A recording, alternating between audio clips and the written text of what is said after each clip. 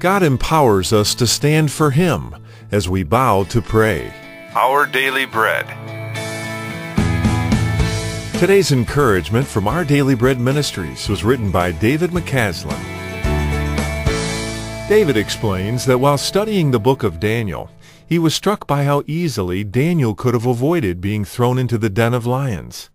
Daniel's jealous rivals in the government of Babylon laid a trap based on his consistent practice of daily prayer to God. Now Daniel was fully aware of their plot and could have decided to pray privately for a month or so until things settled down. But that was not the kind of person he was. The Bible tells us that when Daniel knew that the writing was signed, he went home, and in his upper room with his windows open toward Jerusalem, he knelt down on his knees three times that day, and prayed and gave thanks before his God, as was his custom since early days. No, Daniel didn't panic or bargain with God. Instead, he continued just as he had done before. We see that he wasn't intimidated by the pressure of persecution. The lesson in this was the power of Daniel's life of consistent devotion to the Lord. His strength came from God, whom Daniel wanted to please every day.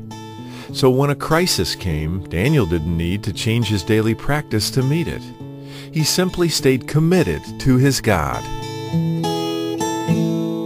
Today's Our Daily Bread devotional scripture reading comes from Daniel chapter 6, verses 1 through 10. It pleased Darius to appoint 120 satraps to rule throughout the kingdom, with three administrators over them, one of whom was Daniel. The satraps were made accountable to them so that the king might not suffer loss. Now Daniel so distinguished himself among the administrators and the satraps by his exceptional qualities that the king planned to set him over the whole kingdom. At this, the administrators and the satraps tried to find grounds for charges against Daniel in his conduct of government affairs, but they were unable to do so. They could find no corruption in him, because he was trustworthy and neither corrupt nor negligent. Finally these men said, We will never find any basis for charges against this man Daniel unless it has something to do with the law of his God.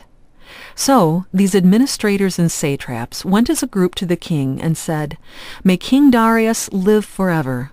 The royal administrators, prefects, satraps, advisers, and governors have all agreed that the king should issue an edict and enforce the decree that anyone who prays to any god or human being during the next thirty days, except to you, your majesty, should be thrown into the lion's den. Now, your majesty, issue the decree and put it in writing so that it cannot be altered, in accordance with the law of the Medes and Persians, which cannot be repealed. So King Darius put the decree in writing. Now, when Daniel learned that the decree had been published, he went home to his upstairs room where the windows opened toward Jerusalem. Three times a day he got down on his knees and prayed, giving thanks to his God, just as he had done before. That's today's scripture reading from Daniel chapter 6, verses 1 through 10. Let's pray together. Father, we want to stand for you when persecution comes as Daniel did. Give us that same bold commitment to pray and not to be ashamed of knowing you. Help us to live our faith publicly. Thank you, Lord.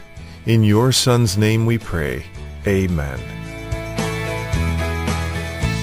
Sometimes we need a little extra motivation to spend time in God's Word each day. And now it couldn't be easier with email devotionals from Our Daily Bread. Sign up for the daily encouragement at odb.org. Today's encouragement was brought to you from Our Daily Bread Ministries.